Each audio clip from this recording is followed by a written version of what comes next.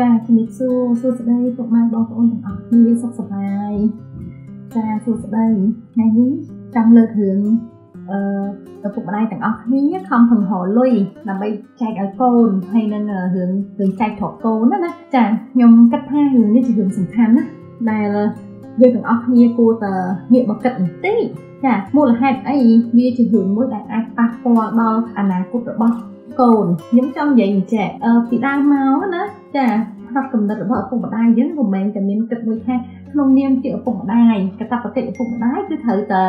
ចាស់ថោឲ្យកូនហើយហ៎រកស៊ីទុកលុយឲ្យកូនមែនអត់ហ្នឹងហើយអញ្ចឹងខ្ញុំចង់ឲ្យបងប្អូនងាកមកគិតគ្នាបន្តិចមើលថាគំនិតមួយហ្នឹងត្រូវនៅចាចាំមើលឲ្យគ្នាយើងបានរៀងច្រើនជាងនឹងបន្តិចសិនខ្ញុំនឹងនិយាយថាតើជំរឿនឹងពិតជាត្រឹមត្រូវហើយនៅខ្ញុំជឿថាបងប្អូនអ្នកស្ដាប់ទាំងអស់គ្នាគឺ មានដឹងហើយមែនទេថាឥឡូវយើងនិយាយពីវ័យលោកតាលោកយាយយើងចាស់ចាពួកគាត់សម័យមុនគឺរស់ស៊ីគឺទុកឲ្យកូនហើយអាស៊ីយើងគឺតែងតែរំលែងតែថារស់ទុករស់ទុកហើយទុកមិនមែនទុកខ្លួនឯងទេណាទុកឲ្យកូនទៀតនោះចាអញ្ចឹងអឺបើខាងអឺរ៉ុបវិញគាត់បើកប្រាក់ខែមកគាត់ចាយគាត់អីអញ្ចឹងទៅហើយខ្ញុំក៏មិនដឹងថាគាត់មានទុកឲ្យកូនអត់ទេព្រោះខ្ញុំដូចអត់ដែរមានមិត្តភ័ក្តិបងប្អូនដែលជាជនជាតិបរទេសអីទេអញ្ចឹងខ្ញុំអត់សូវច្បាស់ទេណាអញ្ចឹងខ្ញុំនិយាយតែអ្វីមួយដែល ដែលខ្ញុំច្បាស់វិញព្រោះខ្ញុំជាជនជាតិអាស៊ីចាអញ្ចឹងខ្ញុំអ្វីដែលខ្ញុំដឹងគឺជនជាតិអាស៊ីអញ្ចឹងរមែងតែរកលុយមកបានហើយគឺទុកឲ្យកូនចាអញ្ចឹងមើលឥឡូវបងប្អូនយើងទាំងអស់គ្នាអ្នកណាគេខ្លះមានកណិតនឹងចាការប៉ັດទៅយើងយើងមើលមើលការពីសម័យលោកតាលោកយាយយើងពីដើមគឺគាត់តែងតែរលុយឲ្យក៏ទុកឲ្យកូនណាចាអញ្ចឹង ខំអើយខំខ្លួនឯងអត់ស៊ីអត់ចាយចាខ្ញុំឃើញហើយសពថ្ងៃនេះហាពួកគាត់មានអ្នកខ្លះអាយុ70ជាងអ្នកខ្លះអាយុ80ជាងហើយគាត់នៅតែនៅតែរបៀបថានៅតែរីនៅតែថាំចាដើម្បីទុកលុយនឹងឲ្យកូនចាខ្ញុំចង់ចង់សួរពួកគាត់វិញតាថាតើគាត់ទុកឲ្យកូនទុកអីគេទុកឲ្យកូនរស់ស៊ីទុកឲ្យកូនចាយជំនួសគាត់ឬក៏ទុកឲ្យកូនឆ្លោះគ្នាចា ចំណុចចំណុចហ្នឹងចាអញ្ចឹងអឺខ្ញុំខ្ញុំខ្ញុំគិតមកវិញថាឪពុកម្ដាយខ្ញុំឥឡូវខ្ញុំនិយាយពីរឿងខ្ញុំចាស់ចាយើងកុំនិយាយរឿងយើងកុំនិយាយដើមគេនិយាយដើមគេគេវាយអញ្ចឹងយើងនិយាយដើមខ្លួនឯងអត់មានណាវាយទេឥឡូវខ្ញុំនិយាយតែរឿងខ្ញុំទេឪពុកម្ដាយខ្ញុំចាគាត់ក៏អត់មានបានសល់គ្រាប់ពីឪពុកម្ដាយគាត់មកទេ ជាហេតុមួយធ្វើឲ្យឪពុកម្ដាយខ្ញុំក៏ខំប្រឹងរកស៊ីមែនតើអានេះខ្ញុំនិយាយនេះគឺខ្ញុំធំមកខ្ញុំដឹងក្តីមកខ្ញុំដឹងរឿងហ្នឹងអញ្ចឹងខ្ញុំគ្រាន់តែចែកម្លែកទៅបងប្អូននេះព្រោះខ្ញុំឃើញឪពុកម្ដាយខ្ញុំក៏ប្រឹងម្ដាយខ្ញុំឪពុកខ្ញុំគឺប្រឹងមែនតែនកម្លាំងនៃការប្រឹងរបស់គាត់ហ្នឹងគឺគាត់ប្រឹងដោយសារការប្រកួតប្រជែងគាត់មានបងប្អូនច្រើនអ្នកណាស់អញ្ចឹងគាត់ត្រូវខំប្រឹងហើយចំណុចទី1ទី2គឺ អ្នកទី1នោះគឺគាត់ប្រឹងក្នុងការប្រកួតប្រជែងជាមួយនឹងបងប្អូនគាត់អីអញ្ចឹងទៅមិនអាចថាយើងក្រជាងគេមិនអាចថាយើងអន់ជាងគេអីអញ្ចឹងទៅចាទី2គឺគាត់មានផ្នត់កំណត់មួយថា គាត់មានកូនស្រីច្រើនចាគាត់មានកូនស្រីដល់ទៅ6នាក់អញ្ចឹងគឺគាត់ត្រូវតែប្រឹងដើម្បីកូនគាត់តែម្ដងអញ្ចឹងចំណុចទី2នេះហើយដែលជាកត្តារុញឲ្យគាត់ខំប្រឹងបន្ថែមទៀតទី3ចាគាត់អត់មានសល់លុយពីឪពុកម្ដាយនៅទេចាអញ្ចឹងគឺគាត់បាត់ដៃតទេហ្មងតាំងពីការប្តីប្រពន្ធចាប់ដៃមកគឺបាត់ដៃតទេតែម្ដងជាហេតុមួយគឺគាត់ត្រូវតែប្រឹងប្រឹងប្រឹងចាទី3ចាកត្តាទី4ចាគឺគាត់អត់ចេះអស ចាខ្ញុំម៉ាក់ខ្ញុំអត់ចេះអសទេណាម៉ាក់ខ្ញុំអត់ចេះទេហើយប៉ាក៏អត់សូវចេះដែរអាចនិយាយបានថាគឺអត់ចេះហ្មងតានឹងហើយព្រោះសម័យមុនក៏អត់បានរៀនសូត្រអីចេះដឹងនេះណាចាអញ្ចឹងអ្វីដែលគាត់អាចធ្វើបានណាគឺការខំប្រឹងគឺខំខំ ខ្ញុំខ្ញុំតាំងពីទូចដល់ធំខ្ញុំដូចជាមិនងាយជួបនឹងមនុស្សណាដែលខំដោយឪពុកម្ដាយខ្ញុំសោះខ្ញុំឃើញម៉ាក់ប៉ាខ្ញុំធ្វើការអត់ចេះហត់ទេចាធ្វើការអត់ចេះហត់គាត់ឧស្សាហ៍ព្យាយាមគាត់តស៊ូគាត់មិនងាយបោះបង់ទោះបីជាគាត់ជាថៅកែក៏គាត់នៅតែខំមួយខំខំមែនតើចាអញ្ចឹងតាំងពីខ្ញុំដឹងក្តីមកគឺខ្ញុំឃើញរូបភាពមួយនឹងតែម្ដងគឺម៉ាក់ប៉ាខ្ញុំអត់មានអាងលុយម៉ែអីទេ ចាអញ្ចឹងគឺគាត់ខំតែខ្លួនឯងតែម្ដងដូច្នេះហើយគឺទើបបានគាត់អាចមានជីវិតមួយដែលរស់ស្រួលដោយសារកត្តានៃការរស់ស្រួលដែលគាត់ខំនឹងហើយគាត់មានកូនស្រី6នាក់អាដល់ពេលអញ្ចឹងបើសិនជាគាត់អត់ខំយើងនិយាយចេះបើសិនជាគាត់អត់ខំទេគាត់ទៅជាអ្នកក្រទៅសួរថាចុះកូនស្រី6នាក់ហ្នឹងមានអ្នកណាមកចូលដណ្ដឹងមានអ្នកណាមកមើលឃើញគាត់មិនមានឱកាសឲ្យគេឃើញកូនគាត់ត្រូវអត់ចាអញ្ចឹងគាត់មានមុខរបរមួយ ដើម្បីឲ្យកូនគាត់ហ្នឹងមួយថ្ងៃមួយថ្ងៃនៅលក់ដូរចាអញ្ចឹងយើងលក់ដូរគឺធ្វើឲ្យកូនហ្នឹងផលចាកូនមួយមួយគឺម្នាក់ម្នាក់ប្រកែខ្ញុំមើលឃើញបងប្អូនខ្ញុំធ្វើបិទទៅជាស្រីប៉ុន្តែពួកយើងធ្វើការងារទាំងការងារស្រីទាំងការងារប្រុសម្ដាយខ្ញុំបដៅខ្ញុំថាត្រូវតែខំប្រឹងរកស៊ីកុំអាងប្តីចិញ្ចឹមគឺយើងការប្តីការប្រពន្ធមកយើងត្រូវខំទាំងពីរនាក់ចាម៉ែខ្ញុំបដៅខ្ញុំអញ្ចឹងខ្ញុំអត់ដឹងថា ខ្ញុំអត់ដឹងថាប៉ាម៉ាក់របស់បងប្អូនបដៅបងប្អូនមិនទេប៉ុន្តែប៉ាម៉ាក់ខ្ញុំបដៅខ្ញុំអញ្ចឹងគឺអត់ឲ្យទីពឹងផ្អែកចាយលុយប្តីនៅផ្ទះចាចាំលាដៃសុំលុយប្តីចាយឬក៏ស្អីហ្នឹងគឺម៉ាក់ខ្ញុំអត់ឲ្យដាច់ខាតចឹងហ្មងគឺទីអ្នកយើងត្រូវប្រឹងរកស៊ីទាំងពីរអ្នក ចានេះគឺជាអ្វីដែលពុកម្ដាយខ្ញុំបដៅខ្ញុំអញ្ចឹងខ្ញុំក៏ក៏ខំប្រឹងចាហើយឪពុកម្ដាយខ្ញុំក៏ការខ្ញុំការពីរអ្នកមកហើយណាចាអញ្ចឹងនេះខ្ញុំនិយាយដល់វ័យវ័យខ្ញុំម្ដងចាមានន័យថាតាខ្ញុំអត់មានទុកលុយឲ្យម៉ែឪខ្ញុំទេម៉ែឪខ្ញុំអត់មានទុកលុយឲ្យពួកខ្ញុំទេចាអញ្ចឹងខ្ញុំការប្តីប្រពន្ធមកគឺចាប់ដៃគ្នាមកគឺខំប្រឹងរខំប្រឹងរតែម្ដងដោយសារខ្ញុំផាត់កំណត់ខ្ញុំណាខ្ញុំនៅចាំបានថា ពេលខ្ញុំការថ្មីថ្មីមកហើយហ្នឹងខ្ញុំនៅជួយម៉ាក់ខ្ញុំហើយពេលហ្នឹងម៉ាក់ខ្ញុំយកលុយឲ្យខ្ញុំយើងខំយើងជួយគាត់ជួយការងារគាត់គាត់ខំឲ្យលុយយើងនៅពេលដែលគាត់ឲ្យលុយយើងខ្ញុំមានប្អូន4នាក់ពីក្រុមនឹងទៀតខ្ញុំយកលុយទៅជូនគាត់វិញដល់ខ្ញុំប្រាប់គាត់វិញថាខ្ញុំមិនអាចយកលុយគាត់ទេបើខ្ញុំយកលុយគាត់បងប្អូនទាំងអស់គ្នានឹងយកលុយគាត់ដែរចាអញ្ចឹងមានន័យថាម្ដងទឹកមួយចាបើយើងនាំគ្នាដងផឹកម្ដងនឹងនឹងរីងណាហើយខ្ញុំក៏បានប្រាប់ទៅម៉ាក់វិញថាខ្ញុំ ខ្ញុំប្រាប់ម៉ាក់ថាចែកខ្ញុំថាម៉ាក់មិនបាច់ឲ្យលុយខ្ញុំទេអ្វីដែលម៉ាក់ឲ្យខ្ញុំគឺឲ្យចំណេះជំនាញតែគាត់ប្រគល់ឲ្យខ្ញុំឲ្យខ្ញុំខំប្រឹងឲ្យខ្ញុំតស៊ូឲ្យខ្ញុំចេះរកស៊ីឲ្យខ្ញុំអឺដូចថាបកែរកស៊ីកាលសម័យខ្ញុំនៅកំមុំខ្ញុំបកែលក់ដូរដល់ពេលអញ្ចឹងអឺអានឹងឯងគឺខ្ញុំជឿហ្មងខ្ញុំជឿខ្លួនខ្ញុំថាមកជីវិតនេះខ្ញុំមិនអាចក្រ ដោយសារអីម៉ាក់ខ្ញុំបានฝึកហាត់ខ្ញុំតាំងពីខ្ញុំអាយុ15 16 17ខ្ញុំចាប់ដើមកាន់ក្រុមហ៊ុនហើយអញ្ចឹងខ្ញុំអត់ដែរមានផ្នត់កំណត់មួយនឹងចាំអាងលុយរបស់ម៉ែឪជាដាច់ខាតចាមកទល់ថ្ងៃនេះមកទល់ថ្ងៃនេះចាខ្ញុំអត់មានបានការដឹងថាយកទ្រព្យពីម៉ែឪខ្ញុំមកអីគឺអត់មានទេចាអត់មានទេគឺខ្ញុំខំតែម្ដងប៉ុន្តែ ឪពុកម្ដាយខ្ញុំគឺរមែងតែជួយខ្ញុំជាយោបល់កម្លាំងចិត្តអឺកម្លាំងចិត្តឪពុកម្ដាយខ្លាំងមែនតើនៅពេលដែលកូនជួបបញ្ហាម្ដងម្ដងណាចាជួបបញ្ហាម្ដងម្ដងកម្លាំងចិត្តគាត់នឹងដូចដូចតាំងស៊ុបពែហ្មងចាអឺយើងពេលខ្លះយើងអត់សង្ឃឹមតែនៅមើលដែលផ្ដោតកម្លាំងចិត្តឲ្យយើងខ្លាំងជាងគេគឺឪពុកម្ដាយចាគាត់គ្រាន់តែនិយាយអំពីបទពិសោធន៍គាត់ប្រុសយើងមានកម្លាំងចិត្តហ្មងចាយើងខំតទៅទៀតចាដល់អញ្ចឹងទៅ ចំណុចនេះហើយដែលជាហេតុមួយធ្វើឲ្យយើងធ្វើឲ្យខ្ញុំខំប្រឹងចាអញ្ចឹងខ្ញុំសាំសួរទៅបងប្អូនទាំងអស់គ្នាខ្ញុំនិយាយដើមខ្ញុំឆ្អែតហើយណាខ្ញុំនិយាយដើមខ្ញុំឆ្អែតហើយឥឡូវយើងចូលប្រធានបទយើងវិញខ្ញុំឃើញផ្នត់កំណត់មួយចំនួនរបស់ប្រជាជនខ្មែរយើងណាចាគឺគាត់រកទុកឲ្យកូនចាដូច្នេះហើយខ្ញុំចង់ប្រាប់ទៅវិញថាការដែលផ្នត់កំណត់គិតថារស់ស៊ីទុកលុយឲ្យកូនឬក៏យកមកជួយកូនឬក៏សុខចិត្តខ្លួនឯងអត់នេះណា ខុសខ្ញុំអត់គ្រប់ត្រទេបងប្អូនមនុស្សយើងម្នាក់ម្នាក់កើតមកមិនដឹងអាយុប្រហែលត្រឡប់ទៅវិញទេត្រូវអត់ហេតុអីបានយើងមិនព្រមសោយសុខមិនព្រមចាយលុយដែលយើងខំប្រឹងរកហេតុអីបានជាយើងមិនព្រមយកលុយហ្នឹងអ្នកមកមកមើលថែសុខភាពខ្លួនឯងឲ្យអាយុយើងវែងជាងនឹងទៀតទៅចាអ្នកខ្លះស៊ីអុកស៊ីធានអ្នកខ្លះសុខចិត្តពិបាកខ្លួនឯងដើម្បីទុកឲ្យទៅកូនការដែលពិបាកខ្លួនឯងនេះជាកត្តាមួយខ្ញុំគិតថាខុសចាការដែលទុកឲ្យកូននេះខ្ញុំគិតថាខុសទៀតហើយមូលហេតុអីកូនខ្ជិលចាកូនអត់ប្រឹងទេកូនចាំយកលុយម៉ែឪត្មង ហើយមួយវិញទៀតម៉ែឪមួយចំនួនណាគាត់ទៅប្រាប់កូនផ្ទាល់តែម្ដងថាអឺឪមានដីម៉ែមានដីនៅកន្លែងនេះឬក៏មានទ្រព្យកន្លែងនោះអញ្ចឹងពួកហែងទៅចិត្តម៉ែលក់ឲ្យឪលក់ឲ្យចែកឲ្យហែងហើយអីហើយអញ្ចឹងបងប្អូនមានដឹងថាពាក្យមួយម៉ាត់ដែលប្រាប់គាត់មុននឹងឲ្យធ្វើឲ្យមនុស្សខ្ជិលដល់អត់ដឹងខ្លួនធ្វើឲ្យមនុស្សអត់ប្រឹងធ្វើឲ្យមនុស្សខ្លាំងធំដែលខុសរឿងខ្លាំងធំអីគេខ្លាំងធំទៅដល់ខ្ចីលុយគេនោះចាអាងអីអាងថាខ្ចីខ្ចីសិនទៅតិចទៀតឲ្យអាងចែកទ្រព្យមកអញមានលុយសងហើយខុសហើយចាខុសហ្មង ខុសហ្មងអញ្ចឹងអត់មានគួរណាមកនៅនិយាយប្រាប់គាត់ឲ្យគាត់ជាទីពឹងជាដាច់ខាតចាអត់គួរទេចាយើងប្រឹងហត់ណាប្រហែលយើងមានប៉ុណ្ណឹងយើងសល់បានប៉ុណ្ណឹងហើយអត់ចាហេតុអីបានជាយើងឲ្យកូនយើងសំណក់ស្រួលម៉េះចាមួយវិញទៀតបងប្អូនសាកទឹកមើលយើងចាស់ហើយយើងចាស់ហើយយើងអត់បានចាយលុយដែលយើងរកចាយើងអត់បានយើងអត់បាន enjoy យើងអត់បានសំណុកទេយើងសំសំសំសំបានប៉ានីដល់រួចទៅហើយទៅកូនយើងដល់វិញ សំណុកសំណុកសំណុកហុចទៅប៉ុណ្្នឹងតែឲ្យគាត់ចាអញ្ចឹងពេលដែលយើងហុចទៅយើងយើងយើងមានការរំពឹងទុកថាណែឪខំទុកឲ្យហើយហើយត្រូវខំប្រឹងថែរក្សាបងប្អូនអត់ចេះថែរក្សាអត់ចេះហ្មង That's why ដែលការពីសម័យដើមគេនិយាយថាទោះបីជាឲ្យភ្នំមាសក៏ចាស់ឲ្យអស់ដែរមូលហេតុអីព្រោះអត់ដឹងថាយកភ្នំមាសនោះទៅធ្វើម៉េចឲ្យមាសកើតជាមាសអត់ដឹងថាវាធ្វើម៉េចឲ្យវាដុះចា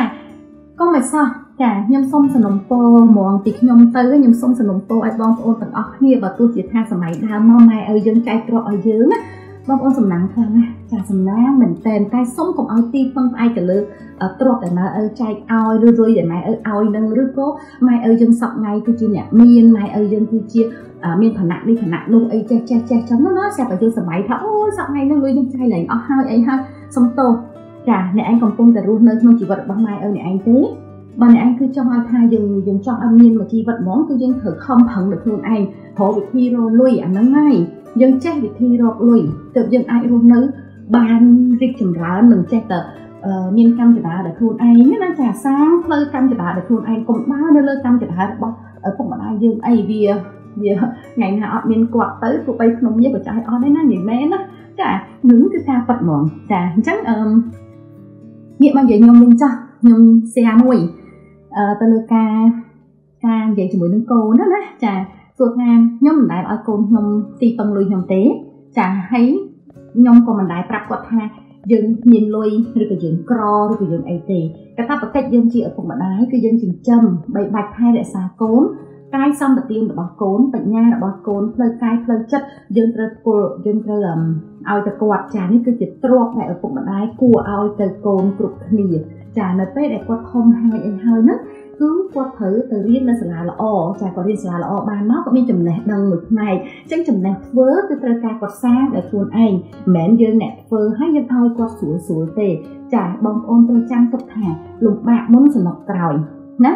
បើសិនជាកូនយើងពីក្មេងណាសោចសបាយហឺហាពីក្មេងណាចាស់ទៅគឺទឹកភ្នែកគឺទឹកភ្នែករហូតចាតែបើសិនជាគាត់នៅទីទូចវេទនាពិបាកទឹកភ្នែកចារៀងហាត់គាត់លុបដំគាត់រៀងខ្លាំងណាអញ្ចឹងនៅពេលដែលធំឡើងគឺគាត់គាត់ឆាប់ ចាឆាប់ឃើញផ្លែផ្កាគាត់ឆាប់រឹងមាំអញ្ចឹងពេលនៅក្នុងជីវិតរបស់គាត់គាត់នឹងងាយស្រួលវិញហើយចាអញ្ចឹងខ្ញុំវិញខ្ញុំប្រាប់កូនតម្រងថា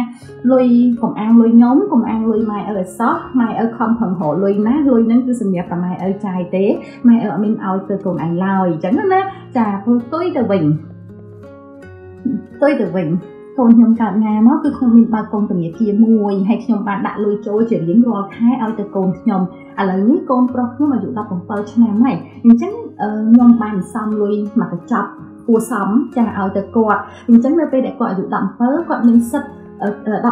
18នេះគាត់មានសិទ្ធិធ្វើអតញ្ញាណប័ណ្ណណាត្រូវទេចាអញ្ចឹងខ្ញុំធ្វើអតញ្ញាណប័ណ្ណឲ្យគាត់ហើយខ្ញុំយកលុយដែលខ្ញុំសន្សំនេះទៅទិញកូនដីមកកូនដុំតូចមួយឲ្យគាត់ចានៅពេលដែលគាត់ប្រឡងចប់ចាឌីប្លូមហើយគាត់ចូលប្រឡងមហាវិទ្យាល័យចប់4ឆ្នាំសរុបទៅគឺមានថា5ឆ្នាំក្រោយដីម្ដុំដែលខ្ញុំទិញឲ្យគាត់ឈរឈ្មោះគាត់ហ្នឹងណាវានឹងឡើងថ្លៃចាវានឹងឡើងថ្លៃអញ្ចឹងខ្ញុំប្រាប់កូនខ្ញុំថាអ្វីដែលម៉ាក់អាចឲ្យកូនបាន គឺអាហ្នឹងអញ្ចឹង5ឆ្នាំក្រោយកូនចេញមកដីនឹងលក់បានប៉ុណ្ណា វាគឺជាដើមទុនរបស់កូនសម្រាប់យកទៅរកស៊ីទៅចានេះខ្ញុំគាត់តែចែកចម្លែកឈុំមួយដែលខ្ញុំធ្វើជាមួយកូនខ្ញុំណាចាអញ្ចឹងមានន័យថា ខ្ញុំបើឲ្យខ្ញុំយកលុយមកកញ្ចប់ធំឲ្យគាត់ធ្វើដើមទុនរកស៊ីខ្ញុំមិនដឹងថាដល់ពេលហ្នឹងខ្ញុំមានអត់ទេហើយខ្ញុំក៏អត់ដឹងថាគាត់រកស៊ីអីដែរអញ្ចឹងខ្ញុំមានតែសំតាំងពីគាត់កើតគាត់ខ្ញុំសំបន្តិចបន្តិចបន្តិចបន្តិចរហូតដល់ឥឡូវគាត់17ឆ្នាំកន្លងផុតទៅបងប្អូនសម័យមើលថាលុយនឹងប៉ុណ្ណាហើយខ្ញុំមិនត្រឹមតែយកលុយនឹងប៉ុណ្ណឹងទេខ្ញុំយកទៅទិញកូនដីទូចមួយនៅពេលដែលគាត់មានសិទ្ធិកាន់អត្តញ្ញាណប័ណ្ណចាអញ្ចឹងនៅពេលដែល5ឆ្នាំក្រោយគាត់រៀននៅមហាវិទ្យាល័យបដា គាត់ត្រូវធ្វើការបដាយកបទពិសោធន៍បងប្អូនមួយឆ្នាំកូនយើងមានពីរវគ្គដែលគាត់គេហៅថាសម្រាប់ណា summer vacation ហើយនិង winter vacation ទៅទេអញ្ចឹងឲ្យគាត់ទៅធ្វើការយកបទពិសោធន៍នៅពេលដែល5ឆ្នាំកន្លងផុតទៅគាត់មានទាំងបទពិសោធន៍មានទាំងចំណេះដឹងហើយលុយដែលយើងសំឲ្យគាត់នេះដីម្ដុំនេះលក់ទៅចេញលុយមកធ្វើជាដើមទុនរស់ស៊ីខ្ញុំជឿថាខ្ញុំអត់ទាន់ហ៊ាននិយាយថាការគិតរបស់ខ្ញុំត្រូវទេចាវាគ្រាន់តែថាអឺ ឪពុកម្ដាយដែលវ័យប្រពន្ធខ្ញុំចាហើយគាត់មានគិតអញ្ចឹងដែរប្រហែលអ្នកក៏ខ្ញុំអត់ដឹងដែរប៉ុន្តែខ្ញុំគ្រាន់តែមើលឃើញថាខ្ញុំអត់មានសម្ពាធផ្លូវចិត្តទេនៅពេលដែលកូនខ្ញុំរៀនចប់នៅពេលដែលកូនខ្ញុំថ្ងៃក្រោយអត់មានខ្ញុំទៅគាត់ពិបាកវេទនាគាត់មិនរឹងមាំអីគឺអត់ទេចាអញ្ចឹងសម្រាប់ខ្ញុំគឺធូរចិត្តធូរចិត្តអត់មានអត់មានសម្ពាធថាខ្លាចកូន ក្រខ្លាច់កូនអត់ចេះខ្លាច់កូនអត់មានលុយអីគឺអត់ទេហ្នឹងហើយទោះបីជាលុយហ្នឹងតិចតួចក៏ដោយចាហើយបើសិនជាលុយគឺប្រាប់កូនហ្មងបើកូនខ្វះម៉ាក់ឲ្យខ្ចីហ្នឹងហើយម៉ាក់ឲ្យខ្ចីតែមិនមែនឲ្យទេហ្នឹងហើយតែបើសិនថ្ងៃថ្ងៃក្រោយទៅតាម៉ាក់ចាយអត់អស់ទៅពុកឯងមានតែព្រមចាយយើហ្នឹងជាភាសានិយាយគ្នាលេងមួយកូននេះណាតែខ្ញុំចង់ប្រាប់ថាថ្ងៃនេះវីដេអូថ្ងៃនេះគឺចង់សកត់ធ្ងន់ទៅលើថា មិនគួរមិនគួរធ្វើជាទីបង្អែកកូនដែលឲ្យលុយទៅកូនងាយងាយដោយចែកទ្រព្យកូនឲ្យ promise កូនផ្ដោះក្តីសង្ឃឹមមួយអញ្ចឹងទៅកូនណាគឺមិនគួរទេ ចាគួរតែ ងាកមកគិតអំពីការតម្រង់ទិសកូនការរៀបចំផែនការជីវិតឲ្យកូនទៅមុខរបៀបម៉េចគឺគិតជាមួយគាត់រួមគ្នាដើរជាមួយនឹងគាត់ហើយបង្ហាញផ្លូវគាត់គ្រប់គ្រងគាត់ហើយរៀបផែនការនៅពីក្រោយវិញនេះទើបបានជាទង្វើមួយដែលគួរធ្វើចាហើយមិនគួរណាមួយអឺចាំតាំងអង្គុយ រកស៊ីទុកដើម្បីរកស៊ីទុកឲ្យកូនឬក៏រកស៊ីទុកចែកទ្រព្យឲ្យកូនអីណានៅអីហ្នឹងខ្ញុំអត់ទាន់ទេចាខែលោថ្ងៃក្រោយទៅខ្ញុំបដូរផ្នត់កំណត់មកទៀតមកដឹងទេណាក៏ប៉ុន្តែផ្នត់កំណត់ត្រឹមពេលនេះខ្ញុំជាមួយប្តីខ្ញុំគឺឈរលើគោលជំហរហ្នឹងមូលហេតុអីកូនខ្ញុំអាយុ17ឆ្នាំហើយខ្ញុំមិនចង់ឲ្យគាត់ទីពឹងលើខ្ញុំខ្ញុំមិនចង់ឲ្យគាត់ អាងខ្ញុំ100%ដែលមិនប្រឹងអីនោះគឺអត់ទេចាគឺអត់អញ្ចឹងខ្ញុំចង់លើកទឹកចិត្តទៅដល់ឪពុកម្ដាយដែលមានវ័យប្រប៉ុនប្រប៉ុនខ្ញុំនេះគួរតែចាប់អារម្មណ៍ទៅលើចំណុចអស់នឹងហើយគិតឡើងវិញចាហើយនឹងខ្ញុំចង់ឲ្យឪពុកម្ដាយដែលវ័យលើខ្ញុំចាដែលគាត់មានអាយុ50 60ឆ្នាំណាចាសុំកុំតន់អាប្រាប់កូនអំពីការចែកទ្រព្យហើយពួកយើងដែលប៉ុនប៉ុននេះកុំអាងថាមានម៉ែឪមានលុយអីយើងចាប់ដើមហឺហាអីអញ្ចឹងណា ខ្ញុំខ្ញុំគិតថាកុំអីចាយើងហឺហាចាំថ្ងៃក្រោយលុយដែលសុបាយចាយជាងគេគឺលុយដែលយើងរកខ្លួនឯងមិនមែនលុយដែលយកបានពីឪពុកម្ដាយឡើយចាចុងក្រោយខ្ញុំចង់ឲ្យក្មេងៗសម័យក្រោយដែលដូចជាកូនខ្ញុំដូចជាអាយុ20ជាងឬក៏ទៅតែនឹងការទាំងអស់ហ្នឹងណាសូមឲ្យបងប្អូនទាំងអស់មួយមួយទាំងអស់កុំអាងលុយម៉ែឪកុំអាងម៉ែឪមានឋានៈលោកក្រមកុំអាងម៉ែឪមានលុយឬក៏អីណាអីខ្ញុំនាំគ្នាឈប់ខំណា ចាខ្ញុំចង់ឲ្យបងប្អូនតាំងពីតូចដល់ធំគឺនៅតែបន្តការខំបន្តការអភិវឌ្ឍខ្លួនឯងបន្តការខំប្រឹងចាខំប្រឹងរៀនរកយកលុយធ្វើម៉េចឲ្យខ្លួនឯងឈ្មោះឈ្មោះរកផ្លូវដើរនៅក្នុងជីវិតទៅផ្លូវជីវិតគឺជាដើរដោយខ្លួនឯងមិនអាចដើរនឹងផ្លូវជីវិតណាដែលអ្នកដទៃគួរឲ្យបានទេអញ្ចឹងគឺមានតែការខំចា ខំឲ្យ upgrade ខ្លួនឯងណាចំណេះដឹងចាចំណេះជំនាញតាំងពីអឺអត្តចរិតចាហើយនឹង យើងអាចនិយាយបានថាកុំខឹងឬក៏អីហ្នឹងក៏យើងត្រូវ upgrade ទៅលើផ្លូវអ្វីដែលល្អទៅល្អទៅល្អទៅជាជាងការដែលទាញខ្លួនឯងទៅផ្លូវដែលមិនល្អមិនល្អមិនល្អចាមានក្មេងខ្លះគាត់ចាប់ដើមផឹកចាពីមុនចេះផឹកតិចតិចឥឡូវផឹកសាហាវអីណាប្រកួតគ្នាផឹកហើយមិនធំប៉ុណ្ណឹងទេផឹកដល់ប្រែមទៀតចាស្រាថោកអត់ផឹកទេក៏ផឹកស្រាថ្លៃអាស្រាថោកផឹកទៅស្វឹងស្រាថ្លៃផឹកទៅអត់ស្វឹងទេអឺ ចាំរកលុយបានសិនណចាចង់អាប់ក្រេតទៅម្ដងប្រហែលពាន់មិនស្រេចចិត្តចង់ប៉ុន្តែបើសិនជារកលុយមិនទាន់បាននៅចាយលុយម៉ែអើទេអត់មានអីអស់ចាទេចាបកកាយចាយលុយខ្ញុំអត់ប្រសើរទេតែបើបកកាយរកលុយតាមខ្ញុំប្រសើរហើយខ្ញុំសូមរៀនសូត្រតាមចាបើថាបើបកកាយចាយលុយអាហ្នឹងទៅមិនតិចក៏អត់ប្រសើរដែរតែខ្លះខ្ញុំឃើញអ្នកខ្លះក៏អត់សូវចង់ចេះរកស៊ីអីចឹងណាហើយគាត់ទិញរបស់របរ brand នឹងណានៃអីចឹងទៅហើយគាត់កាក់ មកបង្អួតឬក៏អីហ្នឹងគឺខ្ញុំគិតថាវាជាសេរីភាពរបស់គាត់ខ្ញុំអត់ទៅគាត់ទេចាខ្ញុំក៏មិនសរសើរដែរចាបើយើងសរសើរធ្វើវាយើងលើកទឹកចិត្តឲ្យគាត់បន្តការចាយលុយធំហើយចាអញ្ចឹងខ្ញុំអត់សរសើរតែខ្ញុំក៏មិនបង្អាប់ដែរចាប៉ុន្តែចង់ឲ្យបងប្អូនយើងទាំងអស់គ្នារៀនធ្វើអ្វីដែលគួរចាមានន័យថាខំប្រឹងរនឹងហើយលុយដែលយើងចាយលុយដែលយើងរក គឺសប្បាយជាងយើងចាយលុយដែលសល់ពីឪពុកម្ដាយឬក៏អីអញ្ចឹងតែខ្ញុំក៏សប្បាយចិត្តមែនតើដែលមានអ្នកខ្លះគាត់កើតមកមានឪពុកម្ដាយល្អចាមានចែកទ្រព្យឲ្យយើងមានលុយឲ្យយើងចាយពុំតាំងដៃអីអញ្ចឹងទៅចាអញ្ចឹងទោះបីជាឪពុកម្ដាយយើងល្អដល់ថ្នាក់នឹងក៏ដោយកុំភ្លេចណា មើលថែខ្លួនឯងមើលថែអនាគតខ្លួនឯងផងចាឪពុកម្ដាយយើងឲ្យមកយើងជាទឹកចិត្តគាត់ប៉ុន្តែយើងខ្លួនឯងត្រូវខំប្រឹងខ្លួនឯងអានឹងជាការទំនួលខុសត្រូវលើជីវិតរបស់ខ្លួនឯងកុំភ្លេចឲ្យសោះចាអញ្ចឹងបើយើងសំណាងកើតមកមានឪពុកម្ដាយដែលល្អហើយបន្ត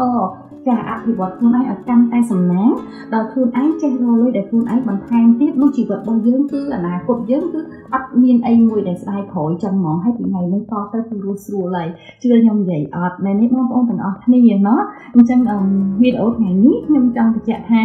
អំពីការដែលចារហូរលុយទុកឲ្យកូនអឺហើយនឹងចែកប្រកូនសូមបងប្អូនទាំងអស់គ្នាពិចារណាមិនថាបងប្អូននៅក្នុងវ័យណាទេសូមគិតនិងពិចារណា ឲ្យបានល្អជាងនឹងចាសង្ឃឹមថាការចែករំលែកក្នុងថ្ងៃនេះជាការដាស់តឿនមួយដើម្បីកុំឲ្យមនុស្សយើងទាំងអស់គ្នាមានការអឺ